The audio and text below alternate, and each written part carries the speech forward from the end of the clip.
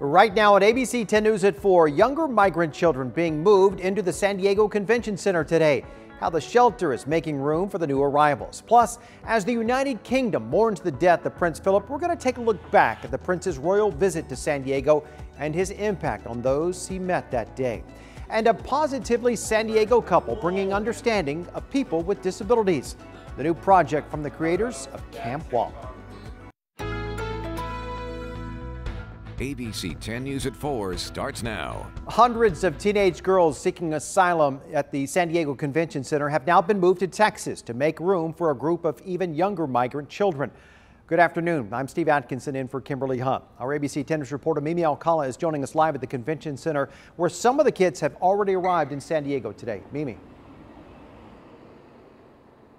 Hi, Steve. Yes, what we're learning is that the convention center now has room to house up to 300 of those young children under the age of 12.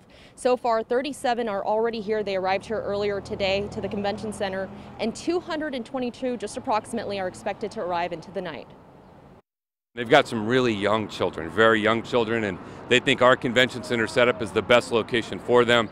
Friday, a plane believed to be carrying young migrant children arrived in San Diego. The kids seeking asylum here in the U.S. will be staying at the convention center for about a month as they're processed and connected with a verified family member or sponsor. This time, the group of kids is much younger than the teen girls that arrived in March. We're told their ages range from 5 to 12. The convention center can only house up to 1,450 children, so 300 of the migrant teenage girls that were here before were transferred to another site at Fort Bliss in Texas. Their casework will continue there. It's so moving uh, to see how grateful and appreciative these children are. County Supervisor Nathan Fletcher says the U.S. Department of Health and Human Services asked for the county's cooperation, saying this would be an appropriate site for these younger kids. Services have been provided by South Bay Community Services and Rady Children's Hospital. The federal government is taking care of expenses. To accommodate more kids, HHS will also be increasing staffing on site. They say adjustments will also be made to the contracted services for mental health, education, and food. According to data obtained by the Washington Post, the Biden administration appears to be spending at least $60 million a week to care for the thousands of minors in shelters operated by HHS, and the costs are expected to rise in the coming months. When, when you look at the trillions of dollars we spend on building walls, the fact that you would spend a couple million dollars to uh, provide care for people who have a legal right to be here seems like an appropriate expense. And one thing to note, none of the children housed here at the convention center that have COVID-19 will be transferred out at any time. Reporting live downtown, Mimi Alcala, ABC 10 News. Mimi, thank you. You can stay on top of this story and more on the migrant children arriving in the country with the ABC 10 News mobile app. It is free in the App Store and Google Play. Memorials are lining Buckingham Palace today as Britain mourns the death of Prince Philip. Prince died just this morning in Windsor Castle at the age of 99 after 73 years of marriage to Queen Elizabeth. The Duke of Edinburgh was born as the Prince of Greece and Denmark in 1921. After the countries were overthrown and lost power, his family then fled to Paris when he was just a baby. Eight years later, Philip was sent to England to be raised by his grandmother and his uncle. Prince Philip served in the British Royal Navy from 1939 to 1953 and fought in World War II. He married then Princess, now Queen Elizabeth, in 1947. Britons are remembering him fondly today. He was just everything, you know, he's done so much for this country, he's been a rock to our Queen. It's just, yeah, just really emotional. Prince Philip was the oldest serving royal spouse. He was known for his love of painting, horses, flying, sailing, and environmental conservation. Prince Philip would have turned 100 years old on June 10th. And tonight, San Diegans are sharing their memories of Prince Philip from his royal visit to San Diego with the Queen back in 1983. Our ABC 10 reporter Michael Chen talked with two people who met the prince in two different settings. On a Saturday in February of 1983, water and gun salutes ushered in a royal visit. We are live at the Broadway Pier, and there is Her Majesty's Yacht Britannia, bearer of Queen Elizabeth and her husband, Prince Philip, the Duke of Edinburgh.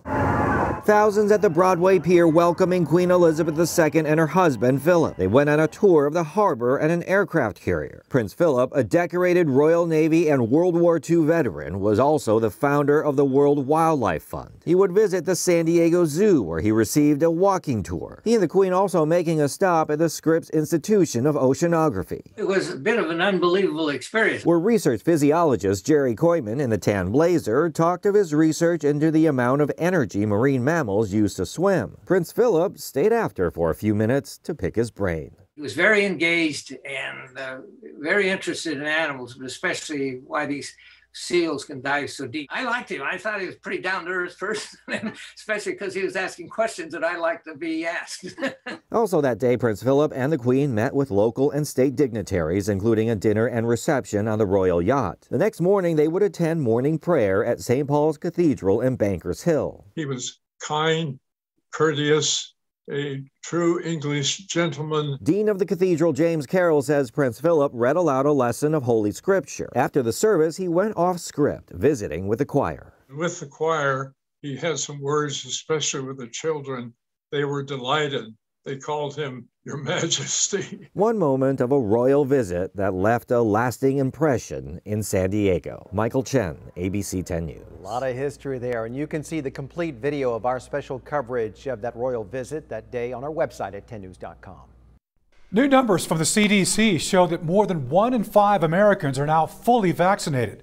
A third of the country is in the process of being vaccinated and has received at least one shot. About 3 million COVID vaccines are being administered every day, and new COVID case numbers are averaging about 66,000 a week. That's about what we saw during last year's summer surge. And today, a strategic national stockpile, or SNS, is in much better shape than when the pandemic started.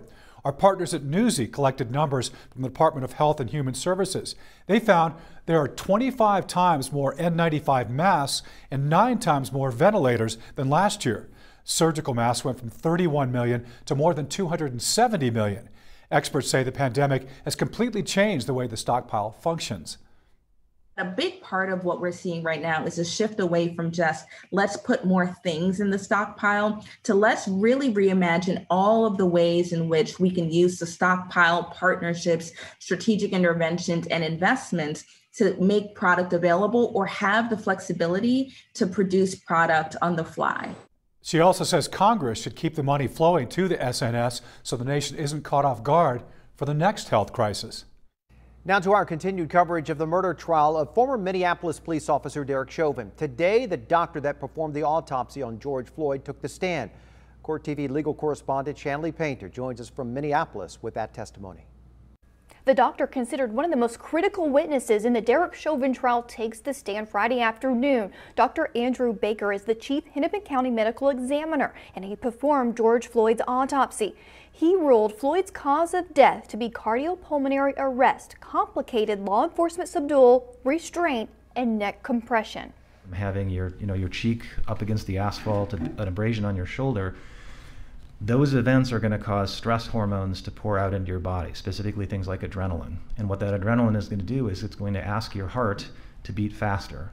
It's going to ask your body for more oxygen so that you can get through that altercation. And in my opinion, the the law enforcement subdual restraint and the neck compression was just more than Mr. Floyd could take by virtue of that those heart conditions.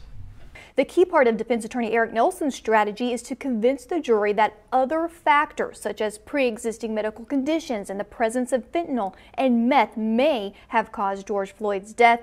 Dr. Baker could be the final witness as week two wraps up in this trial. For week three, we could see the end of the prosecution's case in chief and the defense take over testimony. That's the latest from here in downtown Minneapolis. I'm Chanley Painter with Court TV.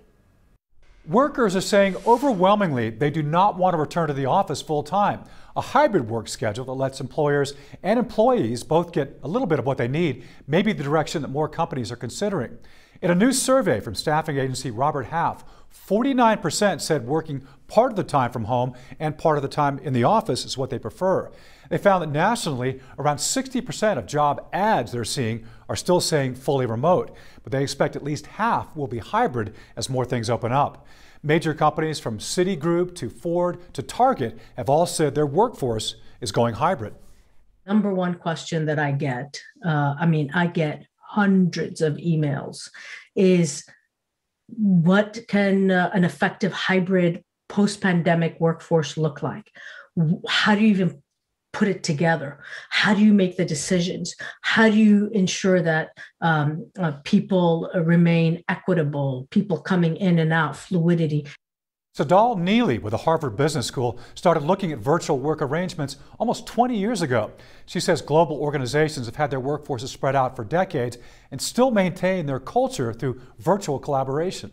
Let's not mistake physical proximity for emotional and psychological closeness or feeling of intimacy with your organization. That's not what's going to make it happen. You know, you will see some turnover if uh, if employees are forced to do something that they just no longer feel comfortable with, and so you know, being able to work through that on the front end is going to cause a lot, uh, you know, uh, diminish a lot of heartache, I guess, on the back end. Karen Warren, a district president for Robert Half, says companies over communicating the return to the office plan will help in the long run. It's also on you to ask your coworkers and manager what their plans are. Neeley says companies doing an anonymous survey of their entire workforce is also going to be important, asking them how many days a week they want to be in the office. She says they also have to take an honest look at every position and set new values for how to operate going forward.